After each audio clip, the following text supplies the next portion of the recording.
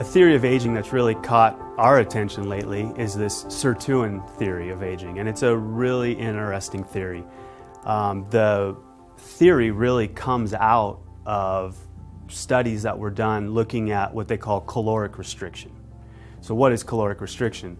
Caloric restriction is the process whereby we significantly reduce the number of calories that we're eating every single day, and it can be as much from 40 to 60 percent. You might think, well, why is that so exciting? That sounds like a miserable existence, and it definitely is, right?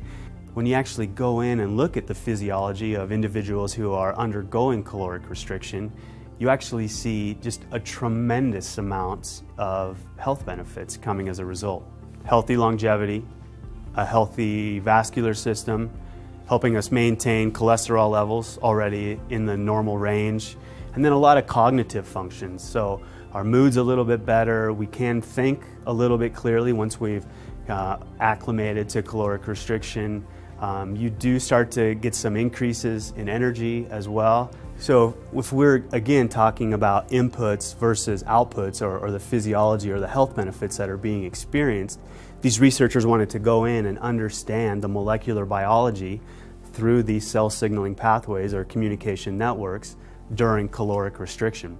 So when they were doing that, they went in and they identified a family of proteins called the sirtuins.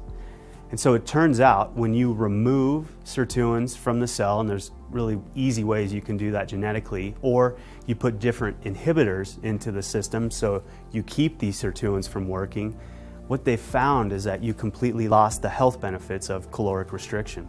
So thus, sirtuins are absolutely required for the health benefits of caloric restriction.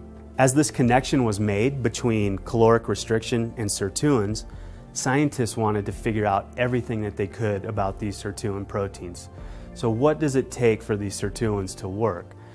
One thing that they found absolutely required for sirtuin activity is a molecule called NAD. And this was really a, a surprise because normally scientists think of NAD as just living in the mitochondria, uh, living other places in the cell, involved in various aspects of metabolism and energy production people really got interested in that relationship between NAD and sirtuins because now you had a direct link between metabolism and then ultimately a way to activate this family of proteins that's been shown to be so important for all these health benefits.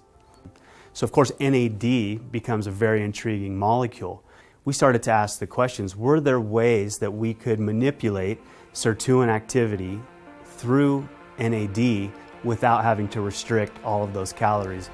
So we went to work, we formulated Protandim NAD Synergizer specifically to target NAD and NAD dependent pathways with the ultimate goal of increasing sirtuin activity. So we went, performed our research studies with our strategic partners, and what we found is that three hours, we saw a 46% increase in sirtuin activity and then when we looked at 24 hours after giving Protandim NAD Synergizer, we saw a 100% increase in activity.